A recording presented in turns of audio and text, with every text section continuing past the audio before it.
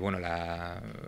todo el sector, todo sector industrial ha sufrido un proceso de transformación digital en los últimos años eh, y sanidad, pues es verdad que venía un poco más eh, retrasado, pero últimamente se está haciendo un gran esfuerzo y un gran impulso por eh, trabajar en, la transformación de todos los, aspectos de la sanidad, tanto en el lado de los profesionales como en el lado de los pacientes y, está experimentando ahora, yo creo que un mayor grado de madurez que ha experimentado los años anteriores.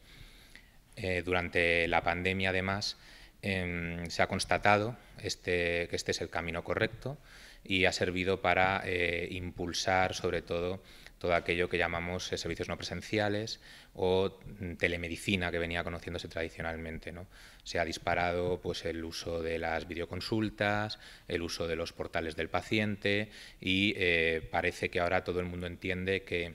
Em, debemos seguir avanzando por eh, caminos de transformación digital para seguir manteniendo la misma calidad sanitaria, pero en este caso eh, evitando el riesgo del contacto eh, en el caso de, la pandemia del COVID.